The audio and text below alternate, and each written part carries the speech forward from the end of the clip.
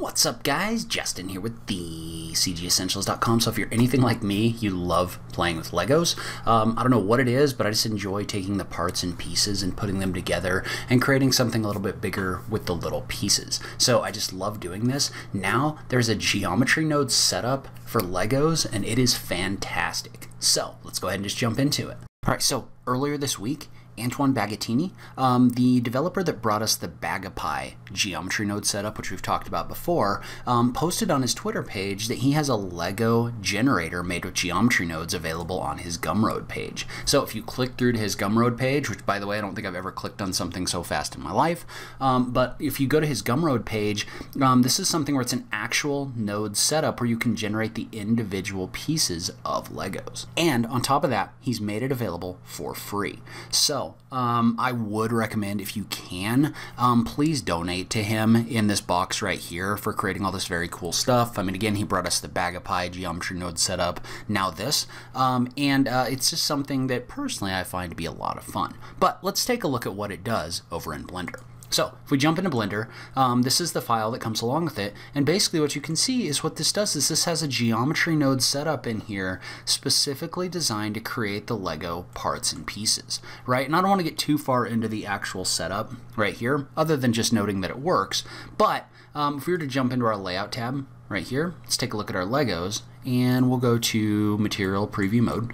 But every one of these Legos has a geometry node set up on it let's go ahead and let's create another copy of the Lego right here. Well, what's so cool about this is you can actually set this up using the X, Y, and Z functions in order to create actual Lego shapes and sizes. So, and I, I don't know if these correspond to like real Lego sizes in real life, but what it does is it allows you to make them thinner or thicker um, so on the X or Y, as well as adjusting the depth. You can basically create any simple Lego type in here just by adjusting these node setups. And then if you want something else, you can just make a copy of it right here. then you can just adjust this as well. And so at least to me, this is just fantastic in its simplicity. Like literally, I can create whatever Lego size I want um, using this. And so one of the cool things about this is this actually comes with a Lego shader so it comes with like this plastic material and then it also comes with a Lego translucent shader right here. So you can use that in order to create different kinds of Legos. So you can create both the translucent ones and the plastic ones. Um, one thing to note about this is this is set inside of the geometry node setup. So don't go into the material setup. Go into the geometry node and you can pick the materials from here. So if you want to create a new material, you would create that by um, duplicating a material and then changing the color.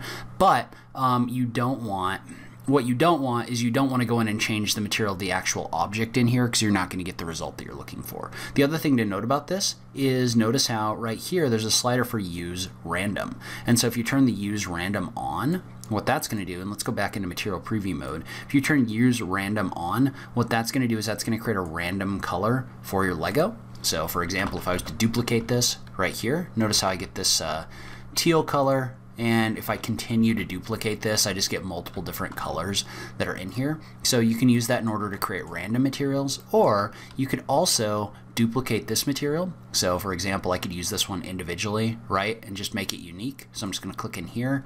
And for this one um, probably what I would do is I would take my old one and I would label it Lego random.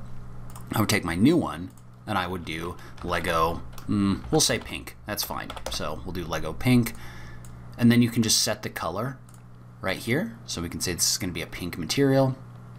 And what we don't want to do is we would want to make sure that this had the Lego pink material applied to it.